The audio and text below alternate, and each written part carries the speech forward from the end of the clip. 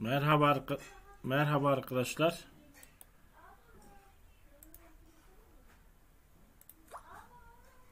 Herkesi sevgi saygıyla selamlıyorum. Arkadaşlar yasal uyarıyı gördünüz. Göstereceğimiz hisse alım satım tut tavsiyesi değildir. Niye gösteriyorsun? İşte ucuz hisse, hangisidir onu göstermek için. Ucuzunla ucuzu var o ayrı bir dava. Şimdi arkadaşlar bu eczacı ilaç gördüğünüz gibi kapanış fiyatı 6.98. Demin çekecektim yine bu zıkkım bozuldu o yüzden çekemedim. O zaman 6.90'dı.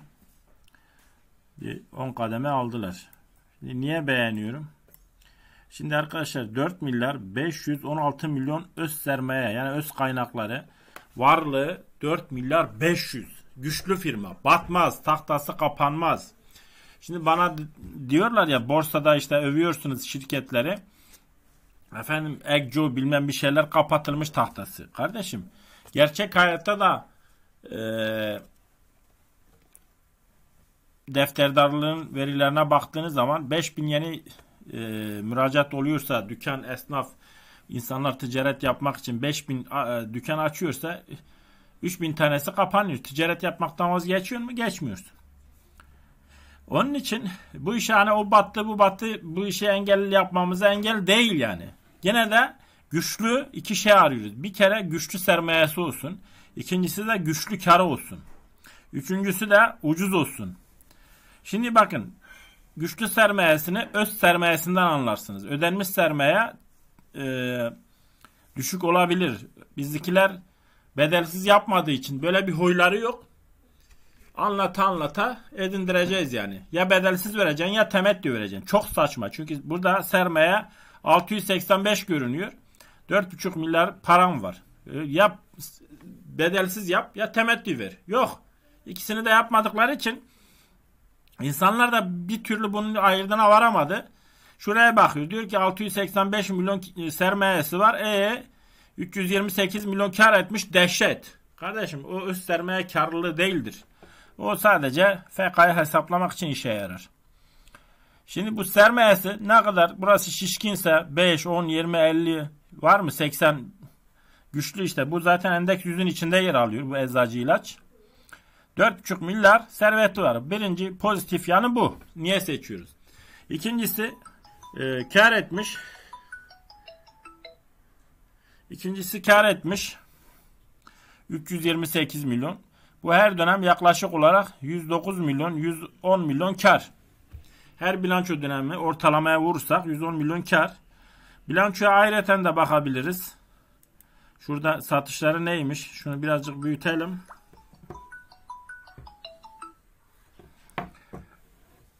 Varlıkları 1 milyar 300 burada bak varlığı var. Ticari alacakları 2 milyar var. 207 milyon pardon. Ee, ara toplam 1300. Yani burada varlıkları var bir, bir sürü. Oraya değil de şu şeye arkadaşlar öz kaynakları 4.5 görüyorsunuz. Öz kaynağına bakıyoruz. E, brüt kar bakın bizi ilgilendiren burası arkadaşlar. Hasılatı görüyor musunuz? Yani bu firmanın işleri nasıl gidiyor? Hasılattan anlarız. Hasılata bakmamız lazım.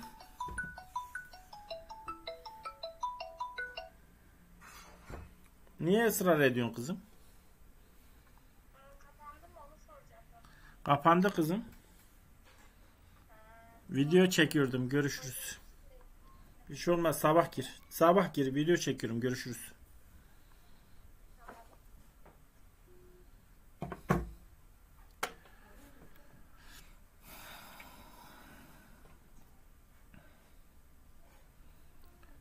Evet. Geçen sene 610 milyon hasılat olmuş. Toplamda 877 milyon hasılat olmuş.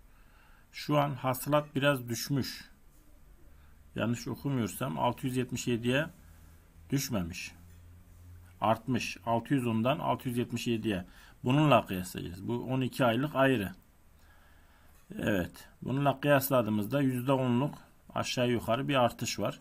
Hasılat iyi. Karlılık 215'ten brüt kar 37'ye. İşte tam buna FK defter değeri buna uygulanır. Bunun çünkü çok büyümüyor. %10 büyüyor. Hesap kitap kolay oluyor. Dönem karı arkadaşlar geçen sene 9 aylıkta 102 milyonken bu sene 238'e e, çıkmış. Bu dönem karı nereden geliyor? Finansman gelirleri 47 milyon. Yatırım faaliyetlerinden gelirler 70 milyon. Evet. Diğer dönemlerde yok muymuş bunlar? Ee, bu niye yani bu kar niye o zaman azmış da bu zaman fazlaymış? Buna bakmamız lazım. Ee, yani sonuçta arkadaşlar 328 milyon kar etmiş. Bunun işin güzelliği şu 6. ayda her zaman bir önceki bilançoyla kıyaslamak daha iyi sonuçlar verir.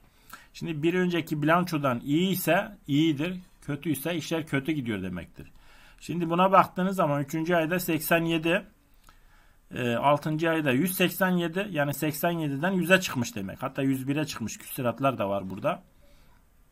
3. E, bilanço yani ikinci bilançoda 100 milyon kar olurken şu an 128 13 daha 141 142 milyona çıkmış. Üçüncü bilanço dehşet. 140 milyon kar. Muhteşem. İşte bunun için beğeniyorum. Sadece karlının iyi gelmesi yetmez. Bazıları diyor ki benim karım hissemin karı çok iyi geldi. Hisse niye yükselmiyor? E niye yükselmiyor? Şu PD'ye bakacaksın. 5 olmuş 10 olmuş. Şuradan grafiğe bakacaksın. Önceden fiyatlamış. Şimdi bununki bakın PD 1.06. E, Hiçbir fiyatlama yok. Yani e, dördüncü bilançoya da burada 150 koyarsanız ederinde işlem görüyor. E, her yıl kasasına e, 400-500 milyon toplamı bu dördüncü bilançoda eklenecek ya. Eklenecek bir firma ederinden işlem görür mü? En az 3-5 yani normal FAVÖK hesaplamasına göre Avrupa'da Amerika bizimkiler FAVÖK FAVÖK diyorlar da kimsenin FAVÖK'ü taktığı yok. Grup giriyor 10 kat yapıyor. Ondan sonra tepe takla düşürüyor. Sen 10 kat oldu sana reklam yapıyor 100 kat olacak diye.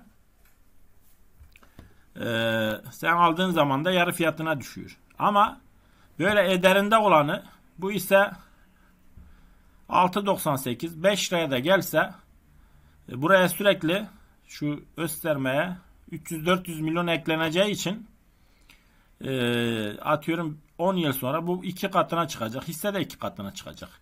Gidip gayrimenkulda 30 yılda kendini amorti edeceğine burada 10 yılda e, ben 10 yıl dediğime bakmayın 2 yılda da %100 yapar. Yani 10 yılda öz kaynağı ikiye katlanıyor. Niye? Sürekli karları artarak devam ettiği için bu 10 değil de 5 olur. 5 yılda karları ikiye katlanacaksa bu öz kaynağı ikiye katlanacaksa hisse 3 yılda 2 kat olur. 3 yılda %100 iyi para yani. Ben ucuz hisse uçacak kaçacak. Tabi gruba bağlı. Yine şeye bağlı. Neydi? Şu açarsam korkuyorum T'ye basmaya.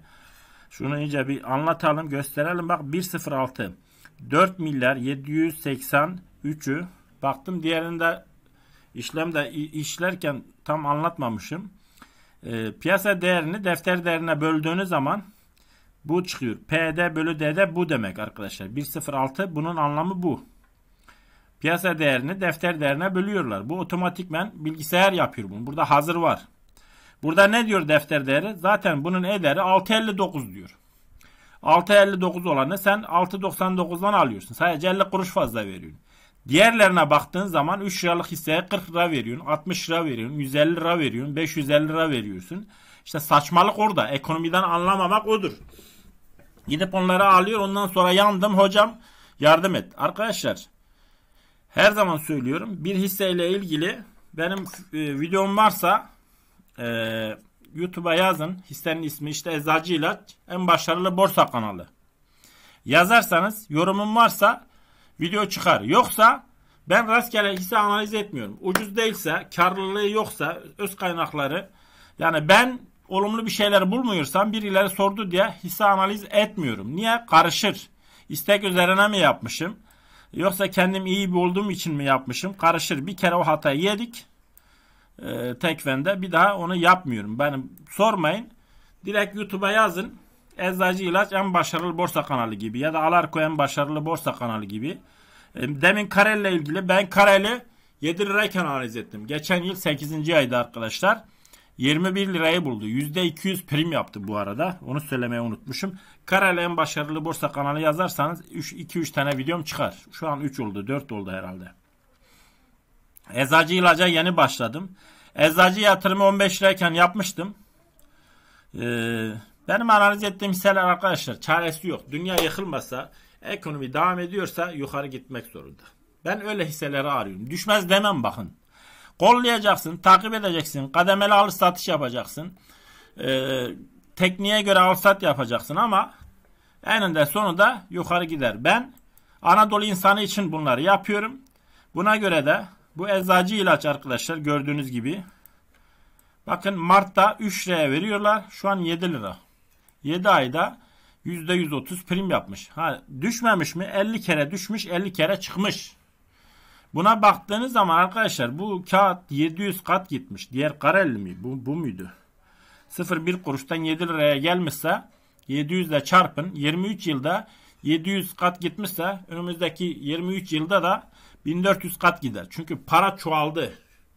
E, alana daha çok yayıldı. İşleri daha çok arttığı için yani küçükken büyümesi daha zordur.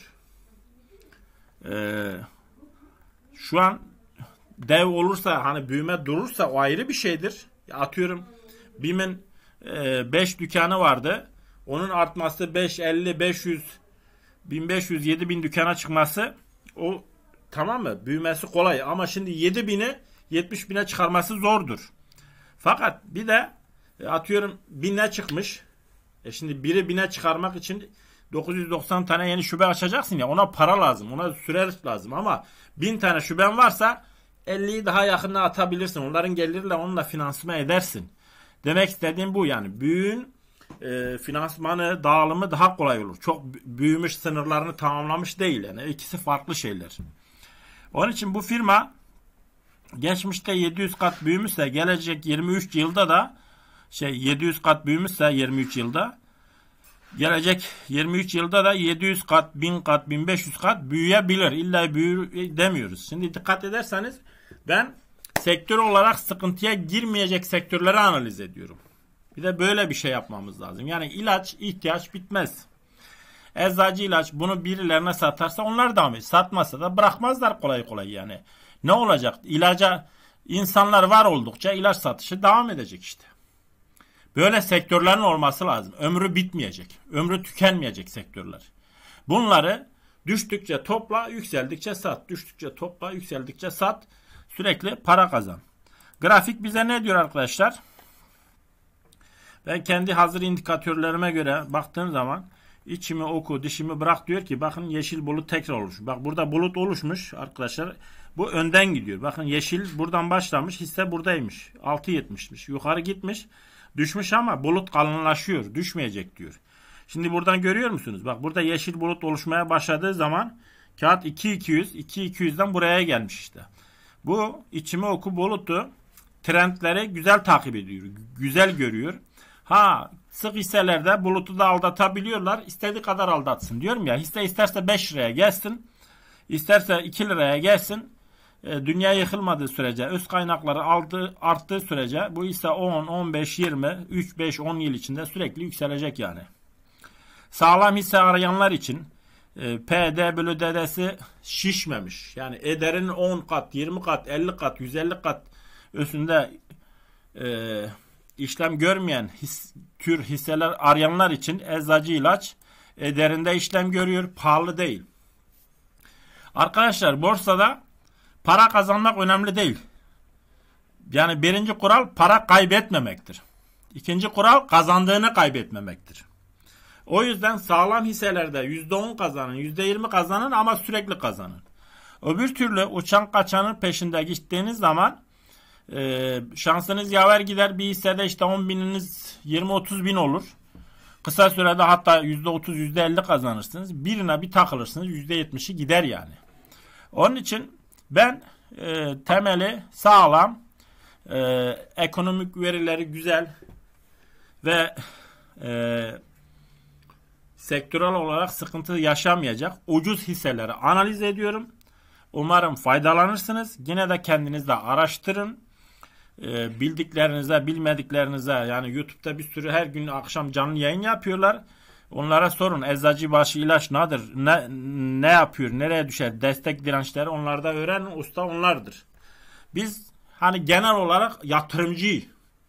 Öyle her gün trade, her gün al sat, nereye düşer, nereye çıkar, buradan alayım mı, buradan satayım mı değil kardeşim. Bunu buradan 1000 lot aldın 7000 liraya, 6'ya gelince de 1000 lot alacaksın, 5'e gelince de 1000 lot alacaksın, 10 lira olmayana kadar satmayacaksın. Aferin canım, aferin. Bir o konu eksikti. Evet, ses görüyorsunuz. Rahat bırakmıyorlar. Bir internet rahat bırakmıyor. Bir çocuklar rahat bırakmıyor. İşte organik kanal, en başarılı borsa kanalı, en güzel hisseleri bu ortamda bulmaya, sizin için paylaşmaya devam ediyor. Beğeni atmayı unutmayın. Geçmiştekilere de açın 5-10 tane videoya onlara da beğeni atın. Yani beni sevenler bu beğeni işini eksik bırakmışlar. Her gün 10 tane videoya beğeni atarsan 2 ayda bütün videolara beğeni atmış olursunuz. Bizim videolar plana çıkar. 800 tane video e, şey yapmışım. E, çekmişim, yayınlamışım. 1000 izleniyor, 2000 izleniyor. En baştakiler çok az. Onları da önemini yetirmiyor. Ben size bir şey söyleyeyim. Bana diyor ki hangi hisse ayırayım? Ya hisse ben 3 günlük analiz etmiyorum ki. Kardeşim bir yerden gireceksin. 3, 5, 10 yıl tutacaksan benim hisseler ömürlük. Ee, gelip bilançosunu takip edeceksin. Bilançoda zarar yazmadığı sürece faaliyet raporunu okuyacaksın. İşleri kötüye gitmedi sürece hani çok yükseldi sat düştü geri al. Çok sasa 17 oldu sat 15'ten geri al. Yarın 25 oldu sat 23'ten geri al. 35 oldu sat 25'ten geri al. Yani sasa ömrü biter mi? Aselsan biter mi? Vestel biter mi? Eczacı ilaç biter mi? 700 kat gitmiş firma. Her gün hisse bulunmaz. Neredeyse bütün e, endeksi böyle potansiyel olanları zamanla tek tek sizin için analiz edeceğim. Evet seviliyorsunuz. Garibanlar e, güzel kağıtları alsınlar diye en azından güvenle alsınlar diye teknik kavramları da anlatıyorum. Gerisini de tekniğe göre al sat. Evet bu kadar yeter ya. Çenem yoruldu. Teşekkürler.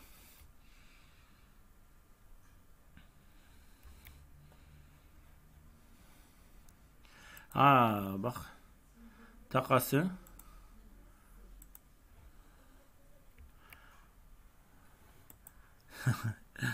evet arkadaşlar şekilde gördüğünüz gibi takasa bakmayı unuttuk. Bakalım artık kapanırsa da sıkıntı yok. Evet global menkullerde %36 iş yatırım. Deutsche Bank bunlarda da var. 210 milyon lotu var. Evet 76 milyon lotu globalde. Bu sahipli kağıt. Ee, %37'si dışarıda %63'ü toplu. Fena değil ama farklı kurumlar olduğu için zaten farklı kurumlar olduğu zaman tam piyasa oluşur. Biri alıyor, diğeri satıyor, diğeri satıyor, diğeri alıyor. Bunlar birbirine sürekli o yüzden 20-30-50 kademe oynuyor. Evet. Kapatalım bakalım kapanıyor mu?